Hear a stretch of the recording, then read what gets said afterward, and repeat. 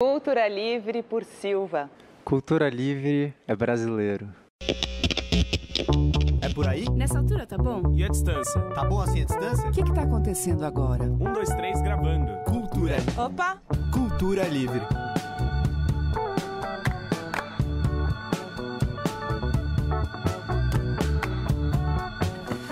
Meu nome é Silva, sou do Espírito Santo, sou brasileiro, sou amigo da Roberta Martinelli, tenho 30 anos.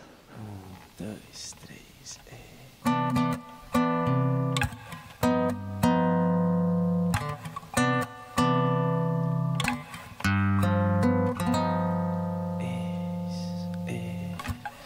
Quando você anunciou que estava indo embora, amor.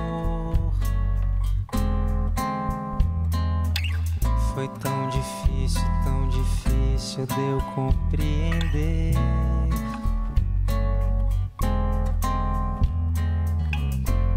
Que sob o seu olhar eu já não mais cabia.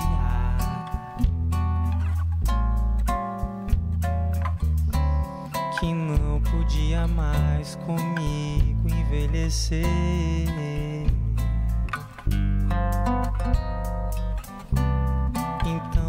Fitei o mundo como nunca antes.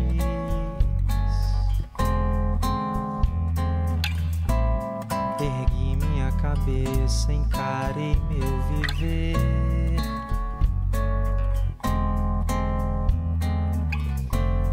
Espero que algum dia, apesar da distância,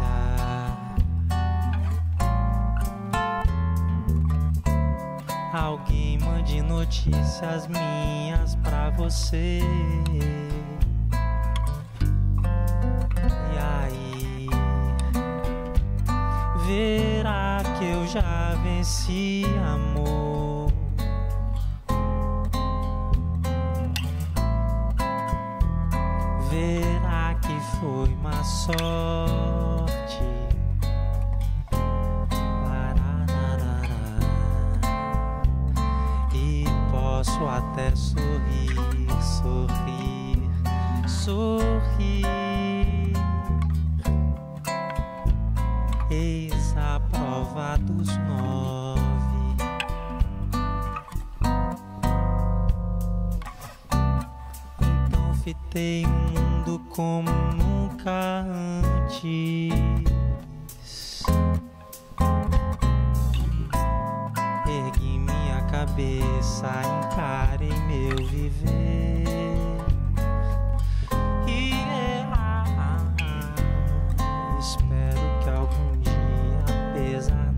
Distância.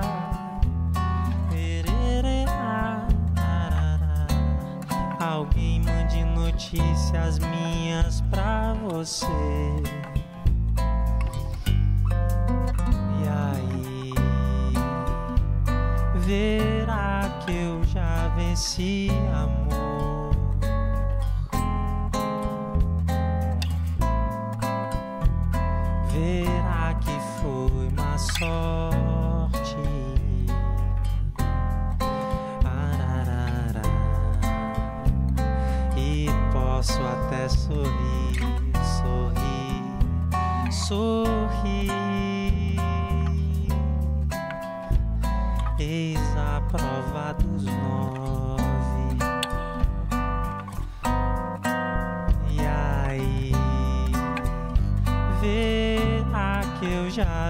Venci,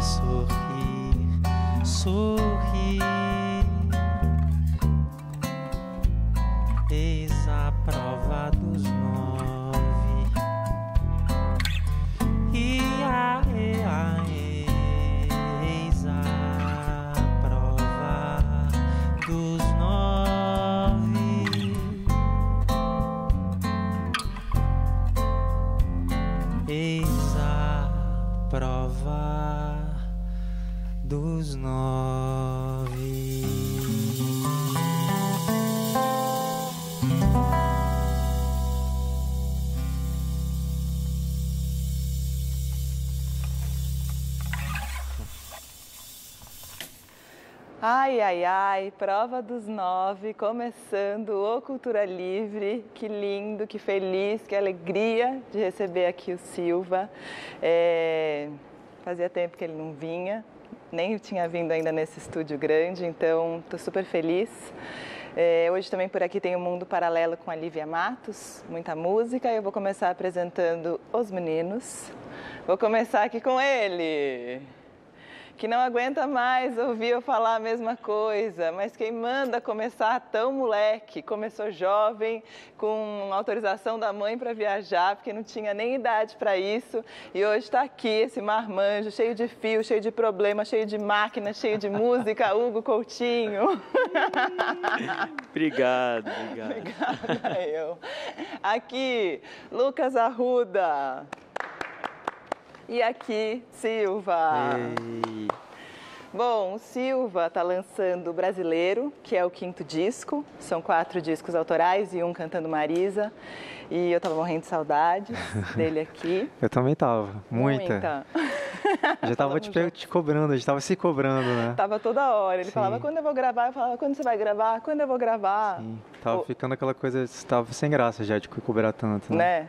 Mas que bom, rolou. Agora rolou. Tá vendo? Hoje é o dia. é, Silva, eu queria falar de brasileiro uhum. bastante, que é o disco novo. É, você quis fazer um disco mais brasileiro, sonoramente falando? Então, a, a vontade já estava ali, eu acho. É, antes, an, quando eu comecei a fazer as primeiras músicas, elas já estavam vindo com uma cara muito brasileira, sem, é, sem um planejamento, assim. Tá. E quando eu vi já tinha um samba, já tinha uma coisa meio. Tinha uma, uma que misturava uma coisa meio cúmbia, uma, uma, coisa bem América Latina com meio Nordeste. Aí eu comecei, pô, o negócio tá super brasileiro. E eu falei, pô, mas meu nome já é Silva, né? Que já é um nome comum, brasileiro. Como é que vai ser? Aí eu comecei a procurar discos, ver se tinha algum disco com esse nome, só brasileiro.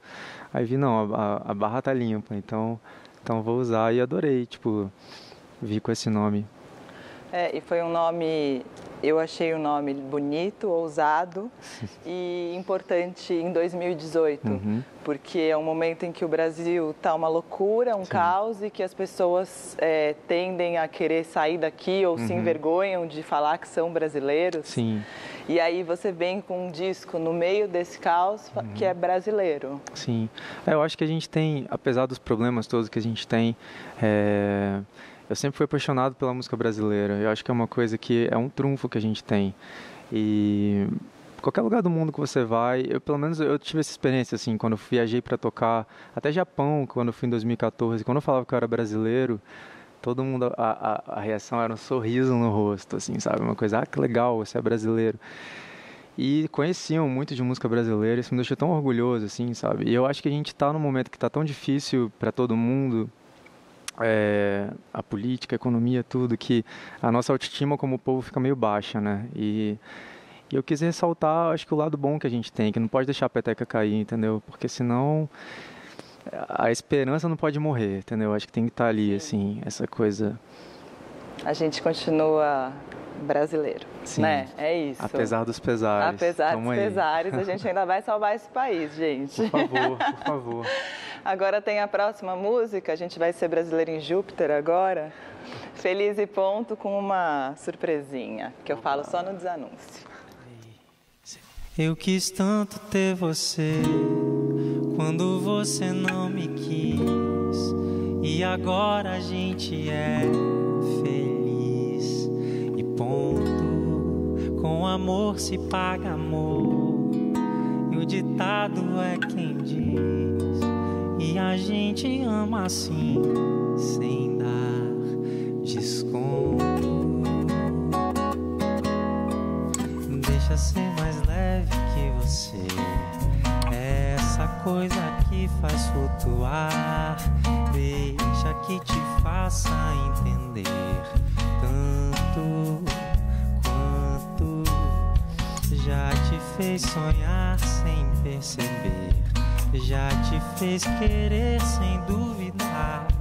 Deixa esse amor cadenciar. Manso, eu quis tanto ter você quando você não me quis. E agora a gente é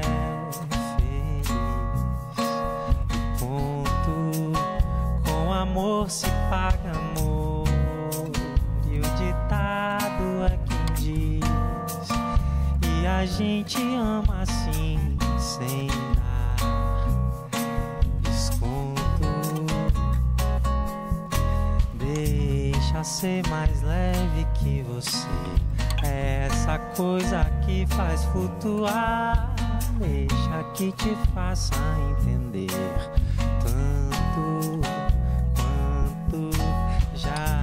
te fez sonhar sem perceber. Já te fez querer sem duvidar. Deixa esse amor cadenciar. Manso,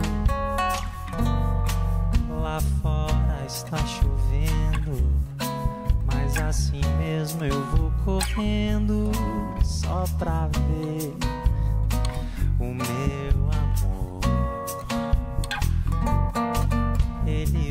todo de branco, todo molhado e despenteado. Que maravilha, que coisa linda é o meu amor. Deixa ser mais leve que você. É essa coisa que faz flutuar. Deixa que te faça entender já te fez sonhar sem perceber.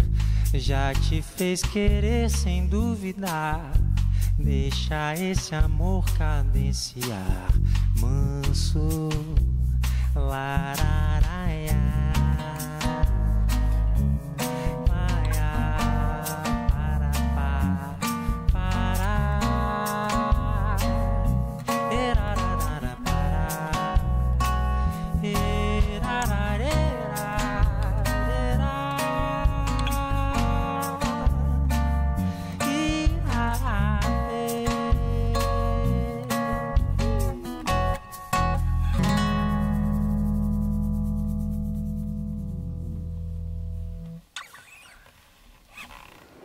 Feliz e ponto, mas que maravilha esse encontro que rolou agora, né? Foi, foi no Brasileiro que rolou. Foi. Essa coisa de ensaio, né? Tipo, acho que tocar junto é uma coisa para mim tá sendo muito nova. Não que eu não tocasse antes, mas eu voltei. É, eu acho que eu fiquei no começo muito, muito preso a essa coisa de produzir no computador, usando muita tecnologia, Uhum. acabei deixando meus instrumentos um pouco de lado. E aí eu acho que o brasileiro foi. Eu voltei a me conectar com o violão, com o piano, tocar de novo com os meninos, juntar para tocar. Acho que isso deu uma. E me foi deu um fôlego. Aí foi numa veio. dessa que veio essa ideia. Belíssima junção. Nada como um ensaio, né, gente? Nada como um ensaio, nada como um ensaio. Agora a gente faz um intervalo bem rápido e volta com mais Silva, que tá uma lindeza esse programa hoje. Até já. Cultura Livre de volta hoje com Silva. E agora tem mais gente que entrou aqui. Tchararã. A banda cresceu, vou apresentar todo mundo. Joab Reis, Bruno Santos e JP. Agora é hora da pergunta do chat. A pergunta do chat você participa no dia da gravação, que a gente transmite pelo YouTube, e aí você participa aqui. Vamos Olha lá, olha lá, hein? Olá. Tem uma pergunta, a Eva Gonçalves Oliveira perguntou quanto o universo da Marisa Monte influenciou você em brasileiro.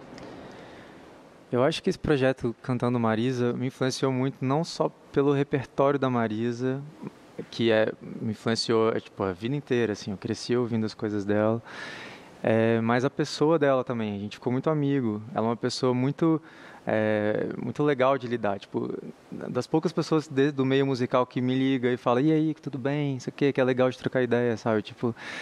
E ela é, e ela é muito brasileira. Ela é uma pessoa que gosta muito de música brasileira e pesquisa muita coisa brasileira, várias coisas que eu não conhecia, que ela me mostrou, me apresentou. Então, a Marisa me influenciou muito. Ela, ela tem uma segurança é, uma autoestima muito legal. Isso, isso foi uma coisa que me, que me me deixou admirado e com vontade de aprender, assim, olha que bonito ser, ser desse jeito, sabe? E você me apresenta, eu não sabia que ela cantava Sonhos? Sim. Eu não sabia, não conhecia a É. versão dela, e aí quando eu vi no show, eu falei, poxa, mas por que ele tá cantando essa música? e essa música não dá, né? Muito maravilhosa, a sua muito. versão ficou linda, do Obrigado. do Caetano é linda, Sim. a dela, tudo. Sim, é um Enfim. drama, né? Tipo, Ai. É, eu vi você andando com outra pessoa, mas não tem nada não, eu só quero que você se encontre, enfim. Cancerianos adoram. né? Sim, meu pai adora também. Agora é hora do nosso mundo paralelo, que a gente vai descobrir outras profissões de pessoas que já estiveram nesse palco ou que ainda não estiveram. E a gente vai descobrir o que que a Lívia Matos faz quando ela não está nem cantando, nem tocando, ela está no circo.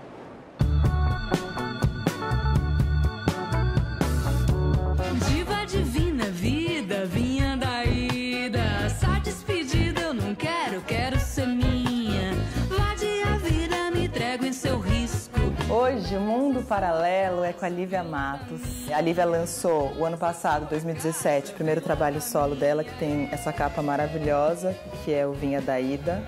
Lívia, conta pra gente, qual é seu mundo paralelo? O circo. Caça, caso, lugares, casuações.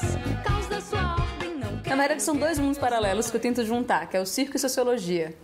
Comecei minha carreira artística no circo mesmo, assim, foi dos picadeiros pro palco. Foi no picadeiro que eu comecei a tocar sanfona, inclusive. A minha relação foi uma relação que começou diretamente pra cena e muito despretensiosamente, assim, com a música. Era tipo uma coisa de usar como instrumento pela potência sonora e cênica, né, do acordeon, assim. Por já ser circense, trapezista, acróbata, fazer tudo de circo. Eu já, já, já, era da companhia Picolino, a- um circo lá da beira da praia de Salvador, assim, é um circo bem antropofágico, assim, tropicalista, assim, você tem ideia, o espetáculo que me fez entrar no circo, que me chamou a atenção para aquele universo, era em cima do universo de Glauber Rocha, assim. Então era o espetáculo chamava Guerreiro e aí tinha tudo no espetáculo, tinha poesia, dança, teatro, cinema, circo, música, uma banda de oito músicos incríveis, assim. E quantos anos você Eu tinha? tinha 16. Aí quando eu vi esse espetáculo, eu falei, nossa, é isso que eu quero fazer da vida. Eu não sabia bem o que era o isso, porque o isso tava, tinha tudo. tinha tudo, mas eu sei que eu fui na semana seguinte no circo, bati na porta da lona, fui conversar com o diretor e aí falei, eu quero fazer parte disso. E aí ele falou, ó, a gente não tá dando bolsa e eu não me encaixava nem no perfil de projeto social e nem tinha grana para pagar aula particular. Então não tinha como eu entrar. E não tinha bolsa e tal. Aí eu fui pra casa triste, recebi aquele não categórico, assim. Fui pra casa triste. No dia seguinte voltei lá de novo. Falei, não, eu realmente quero fazer parte disso. Falei, posso fazer uma permuta, trabalhar aqui e tal. Entrei no núcleo de comunicação. Na época eles estavam fazendo um almanac do circo, então já entrei como pesquisadora. E aí, das aulas ali, o que, que você se encantou primeiro das coisas circenses? Sabe que de início, assim, era malabares, acrobacia, era mais isso. Depois que eu fui pros aéreos e não quis saber de mais nada, assim, né? Aí no circo, você sentiu necessidade de tocar? No circo, depois de um ano eu comecei a tocar, porque era um ambiente muito musical. A música fazia parte da criação, os músicos faziam parte da criação do espetáculo, estavam ali fazendo parte do cotidiano, assim. Eu sempre tive vontade de tocar, mas nunca tive oportunidade. Comecei tarde pra sanfona, né, pra, pra música, né, comecei com uns 16, 17, 17. E aí, um mês pro vestibular, eu ganhei a sanfona da minha tia. Minha tia tinha uma sanfona que minha avó deu pra ela anos atrás e essa sanfona tava parada, assim. Ninguém tocava, a vi tocar uma vez no Natal. E aí falei, pô tia, quando você morrer, já sabe o que que eu quero de herança, né? Aí ela sai pra lá, esse papo de eu morrer, não fica me agora, não. Vou te dar agora, pra você não ficar Aí me eu falei, pô, sanfona. ela não fica me agora, não. Me deu a sanfona.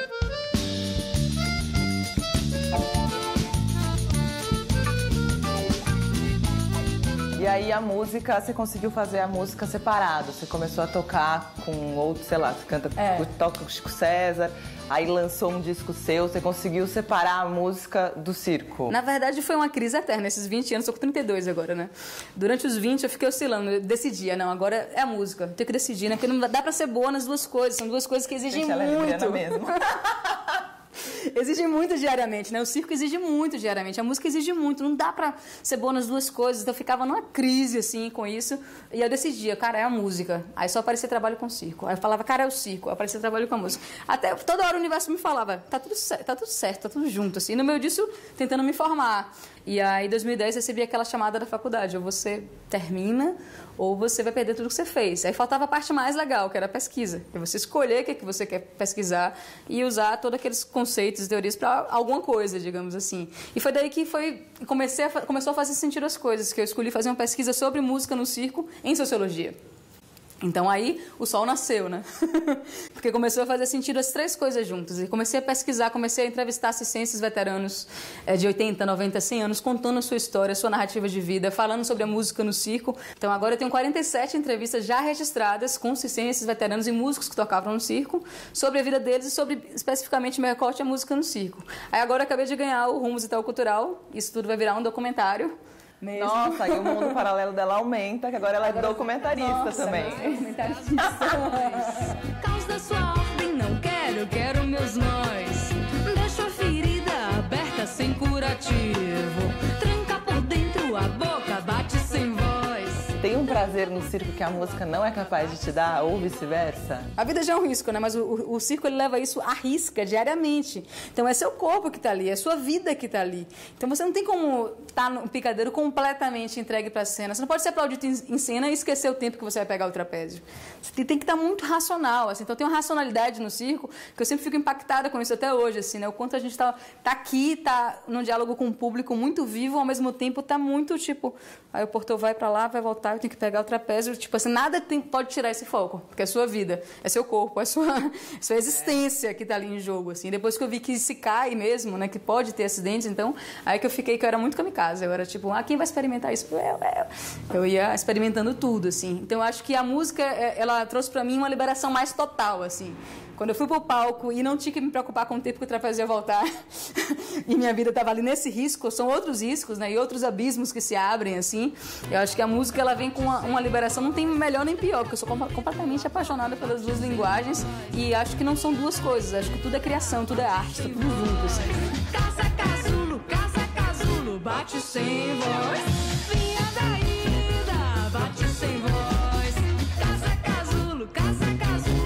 Esse foi o Mundo Paralelo da Lívia Matos. É, você já teve. Você toca faz muito tempo, né? A música está com você desde pequeno. Você, algum momento na vida, pensou é. em fazer outra coisa? Eu já, eu já, tive aquela coisa de pressão da família, assim, tipo, menino, é, uma coisa mais coisa de pai, assim, né? Eu acho que você tinha que ter um plano B e tal. Mas nunca rolou esse plano B. Sempre foi música. Eu, eu, eu me formei em violino, fiz superior de violino. E tinha planos quando eu era mais novo, assim. Depois mudei radicalmente de ser concertista, de ir para esse lado, mas não, não, não ia rolar. Tem que estudar muito, assim, é uma coisa, tem que ser muito apaixonado pelo violino. Sim. Eu gosto de piano, gosto de violão, gosto de cantar. Não ia conseguir ficar só no violino. Assim. Você sabe que tem uma entrevista do Tom Jobim com o Radamés em Atali e que ah. o Radamés está super triste porque ele fala: Eu sempre quis ser concertista, mas eu não consegui, aí acabei virando compositor. Tudo Nossa, isso que eu faço, isso, né? arranjador, um não sei o quê. Esse cara gigantesco, ele meio chateado, sabe? Caramba. Que bom, bom, né, que ele não quis ser concertista. Ainda que bem, ótimo, que agradece. bom que você também não teve nenhum plano B, a gente também agradece. Agora tem Caju.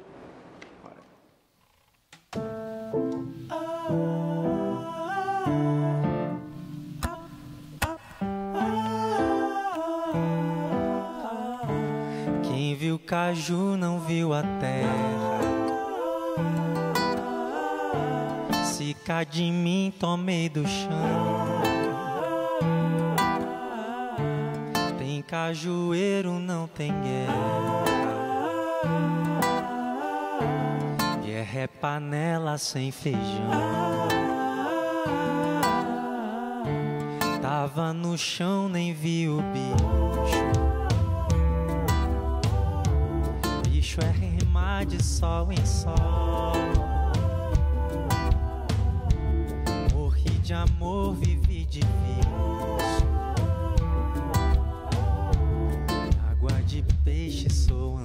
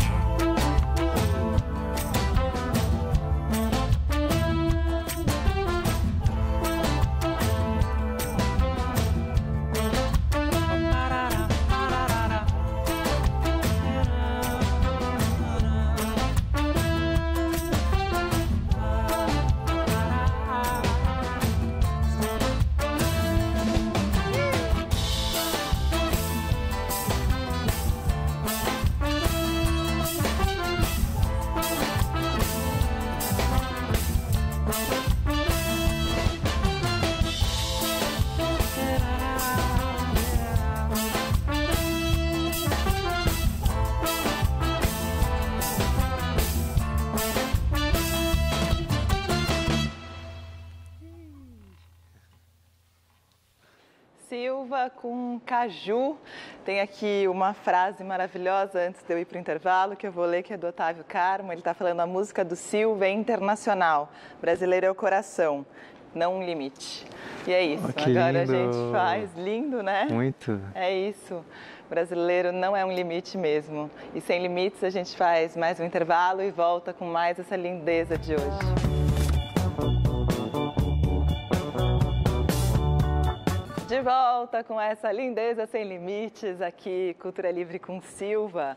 Agora é hora da nossa pauta do Instagram, que é o seguinte: você de casa, a gente avisa quem é o convidado e você pode ajudar a gente com uma pauta não musical para a gente conversar por aqui. A pauta de hoje, quem sugeriu foi o Sávio Lima, que mora em Água Branca, Lagoas. E é uma pergunta muito filosófica e muito difícil de responder. A gente pode escapar dela de alguma maneira, que é, ele quer saber como é que você se sente diante da sua existência e qual o papel da arte na sua vida. Nossa. Profundo. Super. Então, eu acho que é difícil de me dizer como, é difícil dizer como eu me sinto na minha existência, tipo, mas eu acho que eu venho me sentindo, sabe? Acho que agora eu tô numa fase é, eu acho que eu tô na melhor fase da minha vida. Eu fiz, acabei de fazer 30, acho que tem umas duas semanas, um, um mês, acho. Não sei mais onde que a gente está aqui. Mas é, eu, eu acho que é isso. Eu acho que você vai conseguindo é, se conectar com você, aprender coisas sobre você. Você vai limpando da sua vida coisas que não fazem muito sentido. É, já, devo, ter fugido completamente da pergunta, né? Não, tá super. Mas eu acho que Você tá, você tá eu acho que eu estou em busca disso, sabe? Eu acho que eu É. estou sabendo cada vez mais isso. Eu, eu acho que é isso que está me dando vontade de continuar, sabe? Continuar tocando, fazendo música e falando. E o papel da arte na sua vida é É fazer, acho que o papel da arte é fazer para mim, por exemplo, ele faz minha vida, ela faz minha vida ter sentido, sabe? É, acho que dá drama, traz alegria, traz divertimento, traz várias coisas que eu acho que sem isso ficaria muito difícil existir. Ficaria muito difícil, mas agora fica tudo bem. É a próxima música, claro que você sabia. Um, dois, três. Se você voltar pra ela, tente não se arrepender. Vai ser difícil amar alguém sem se querer. Melhor fazer valer a pena. É bem melhor se conhecer. Nas coisas do amor convém pagar pra ver. Fica tudo bem. Fica, fica, fica tudo bem. Fica tudo bem. Fica, fica, fica tudo bem.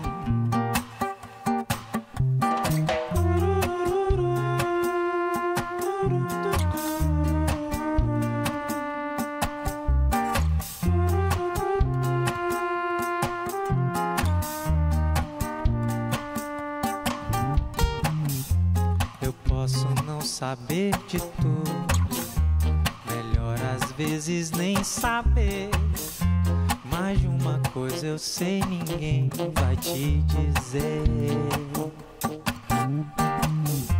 Amigo, amar alguém a fundo coisa séria de querer. Cuide de quem te quer e cuide de você. E fica tudo bem. Fica, fica, fica tudo bem. Fica tudo bem. Fica, fica, fica tudo bem. Fica tudo bem. Fica, fica, fica tudo bem. Fica tudo bem. Fica, fica, fica.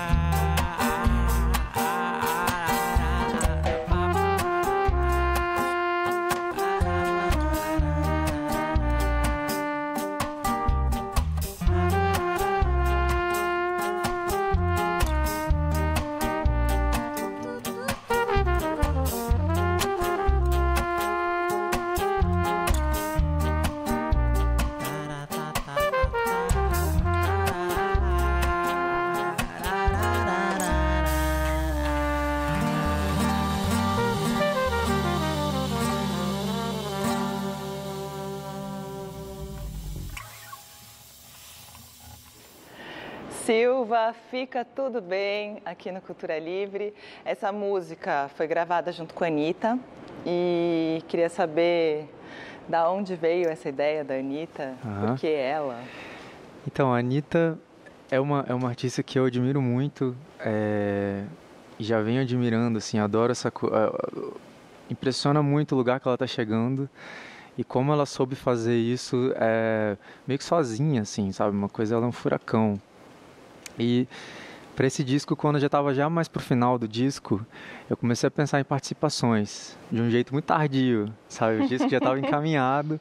Eu falei, e aí, como é que faz? E tinha pensado em alguns nomes de pessoas que eu acho que é, no momento de agora representam muito o Brasil, sabe? O disco chamado Brasileiro. Claro. É, como e a Anitta era a primeira da lista. E eu mandei essa música para ela já maldosamente pensando no tom dela, já, já sabia que ficaria bom para a voz dela, já tinha ouvido as coisas, já conhecia as coisas dela, já tava, ah, acho que isso aqui vai ficar bom.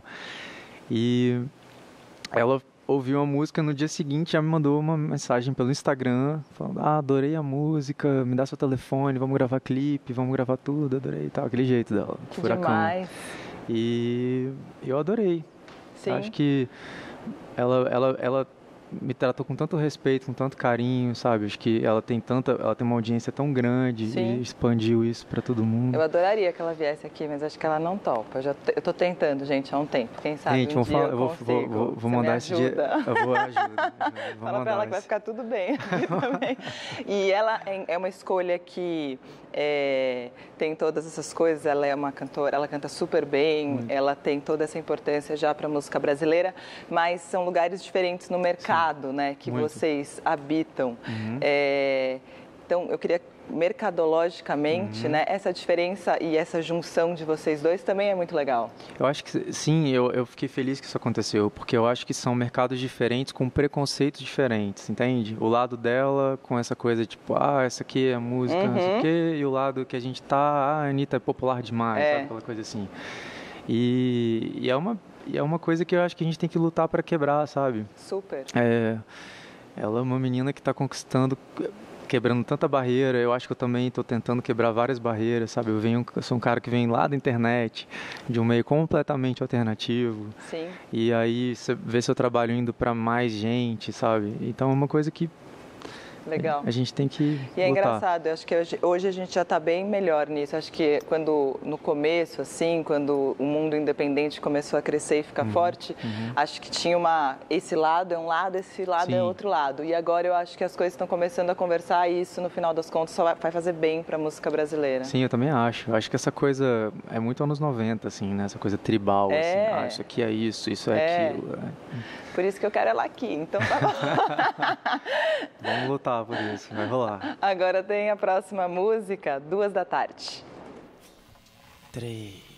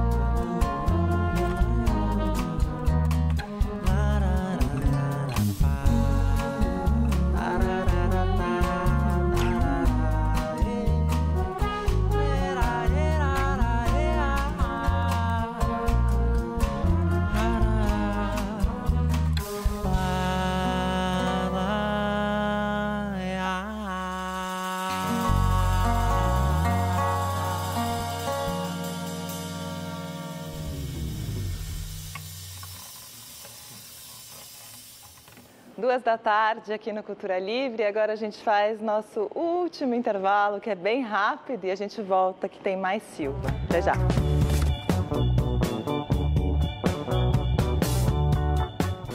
Ai, como passa rápido, já está chegando no último bloco do Cultura Livre com Silva. Mas calma que ainda tem o bloco inteiro pela frente. É, Silva, você busca é, referências e coisas em outras artes? Tipo, você, quando está fazendo um disco, você tem um livro ou alguma outra coisa que te motiva, que te inspira? Eu não tenho, eu não tenho assim, é, é um processo, assim, sabe? Ah, vou, vou começar a ler alguma coisa para ver se vem. E acaba que as coisas que, na época que eu tô fazendo disco, lógico, me, me, me influenciam, assim, Sim. sabe? O livro que eu tô lendo, é, estar nesse mundo de série, assim, né? Sempre tem uma série que eu, que eu nunca consigo terminar. É sempre uma série que eu começo, gosto. Sério? Eu sou- É, eu tô, eu sou- tô, tô bem ruim termino. para isso. Mas essas coisas me influenciam de alguma forma. Mas, em geral, é mais a música, música mesmo, assim. Sim. É o que Não mais tem nada específico nesse disco, assim, que te venha. Não, no livro, ah, no, no no disco tem, tem é, coisas que eu nunca li antes, assim, literatura que foge de romance, coisas assim, sabe, tipo Darcy Ribeiro, coisas que me me fizeram refletir muito, crescer muito, aprender muito. Ainda tem muito para aprender. Claro, É, tem essa literatura gigantesca também, né? Então eu é, quando eu escolho um tema, como o disco se chama brasileiro, é, eu me deixei deixei me levar por esse tema, assim, sabe? É, o Brasil, as questões do Brasil, a história do Brasil, a música brasileira mesmo. Legal. Fui em todas as minhas referências brasileiras possíveis e impossíveis. Então aqui mais um pouco. É. Daqui a pouco tem mais, né, gente? Calma. Agora é hora da nossa pergunta do aplicativo, que funciona assim: você mandou pelo aplicativo da TV Cultura a pergunta e agora o Silva responde para você. Oi, aqui é Leon de Fortaleza, Ceará. E Silva, a gente notou uma evolução muito grande em você, como artista, como cantor, com seus trabalhos novos. É, será que existe ainda muita comparação com seus trabalhos anteriores? E se você fica chateado com essas comparações? Beijo, tchau. Leon mandando essa pergunta de Fortaleza. E aí? Não, não fico, não fico chateado com as comparações. Eu acho que assim, é... eu sempre, eu sempre, eu mesmo produzi meus discos, sabe? Então, é... eles fazem muito sentido ali naquele momento que eu estava vivendo. Então, eu olho para Claridão, eu tinha 22, 21 para 22 quando e lancei quase com 23. Então, eu lembro muito bem daquele período ali, que, que eu tava, como, como eu pensava, como a minha cabeça era, quanto que eu mudei. Então eu tenho muito carinho por cada um desses discos, porque eles são, eles refletem o que, eu estava vivendo, assim. E eu não, não ligo para para comparação, ah, porque tá diferente, porque senão seria eu competido com, com eu Você mesmo, mesmo. né? Tipo, seria, seria uma coisa meio esquisita. É, mas, mas faz parte. Acho que tem gente que me conheceu no- bem no comecinho, que tem um apego, assim, né? Ah, eu gosto muito daquele do começo. Eu não acho isso ruim, eu acho isso lindo, eu acho que tá tudo certo. Mas você, você consegue é, ter hits e novos momentos em cada disco, né? Até Eu- hoje. Eu, eu, vou, eu, eu gosto de mudar muito, assim. Quem diz que, que, que não enjoa, eu acho que é mentira. Porque a gente vive nessa vida de estrada e é show o tempo todo. Você repete a mesma música 500 vezes. Então, eu acho que se você tem que fazer um esforço, assim, mudar o arranjo um pouco, é, mudar de tom, qualquer coisa, assim. Alguma coisa que não deixa a música no mesmo lugar, sabe? É, eu tento fazer isso. Tem mais uma pergunta agora, vamos ver de quem é. Oi, Lúcio, aqui é o Guilherme de BH. Eu gostaria de saber qual foi o critério que você usou para escolher as músicas da turnê. Essa quantidade de músicas aí, como é que foi? Beijo, vem logo pra cá. Ei, Guilherme, boa pergunta. Como é que fez para escolher? Foi, foi difícil escolher as músicas porque é, eu já tenho cinco discos, é muita coisa, né? Para escolher as coisas do meu próprio repertório, tipo, o que, que, eu, que, que eu achei que ia combinar com esse momento, que ia combinar com esse disco das coisas antigas. E acaba que tem várias coisas antigas que já são uma outra estética, uma outra cara, um outro momento. Então deu um pouquinho de trabalho, assim, para escolher o que que, o que ah, das minhas músicas, o que caberia nesse momento. E mas foi divertido. Eu não, eu não, eu não quis fazer uma coisa muito fria, assim, de ser tipo, ah, eu vou escolher essa porque essa é a, A que todo mundo, a que todo mundo gosta, sabe? É, fui fazendo de um jeito no ensaio também, percebendo o que, que ia ficar legal, de uma forma mais intuitiva e menos é, arquitetada, arqui- sabe? Assim, planejado, sabe? E ficou lindo, né? O show. Ah, obrigado, obrigado. E BH, já já a gente vai por aí. Boa. É, Daqui a tá pouco, quase, Guilherme. tá quase. Calma, espera. Bom, é, o programa está chegando ao fim, essa é real agora, que a gente esperou muito por esse momento, e esse momento está chegando ao fim, o que significa que a gente vai esperar um tempo para ele voltar, mas tudo bem. Meninos, obrigada, muito obrigada mais uma vez, muito obrigada. É, Silva, adorei que você veio, tá? Obrigado. Muito. Tava com saudade de você aqui. Também adorei, também adorei. Sempre E uma honra. ainda, além de tudo, ele vai encerrar com uma música que eu já estou chamando de minha. né? Eu nem sei ainda o que tem aqui direito, mas já virou música aqui. Então, eu vou encerrar com essa música que é A Cor é Rosa.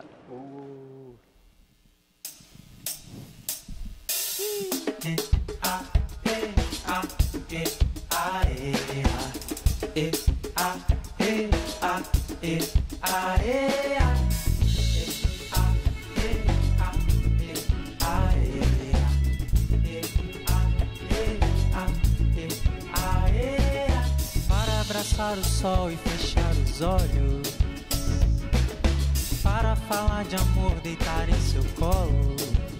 Vim de outra cidade, eu sou da estrada, sou rosa. Rosa no céu azul, te beijei os ombros. Você que me contou sobre os seus assombros, assombros de amor, de lá do fundo do seu mar. E sempre que eu pensar no meu bem, vou colorir o dia.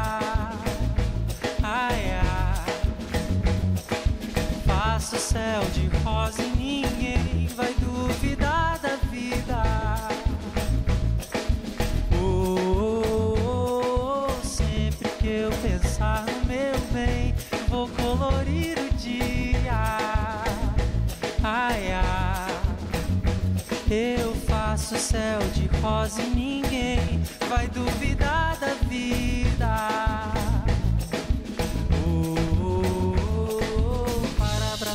Sol e fechar os olhos. Para falar de amor, deitar em seu colo. Vim de outra cidade, eu sou da estrada. Sou rosa, rosa, rosa. Rosa no céu azul, te beijei os ombros. Você que me contou sobre os seus assombros, assombros de amor,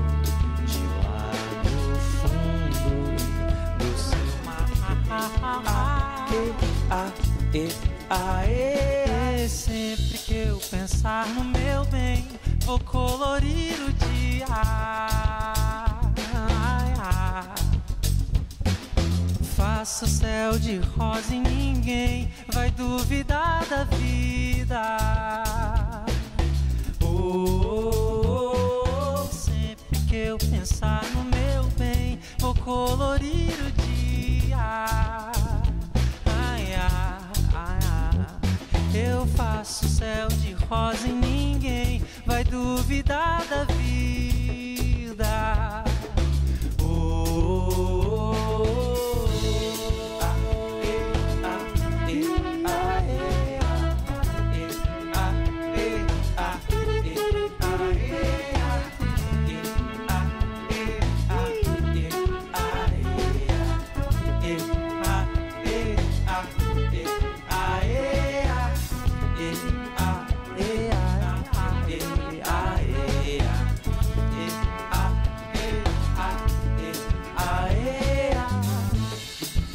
Livre, Roberta, obrigado.